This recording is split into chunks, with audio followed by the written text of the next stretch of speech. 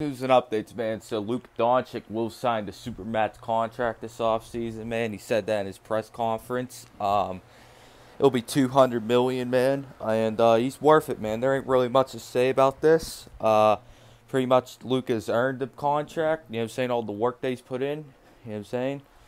The great numbers, the great accolades, and listen, man, there ain't no debate, man. First team all, first team all NBA.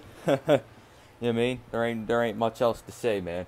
But Luka Doncic will sign a supermax contract this offseason, man. Point blank period, man. One of the easiest decisions ever. Ain't much to add. Alright, peace.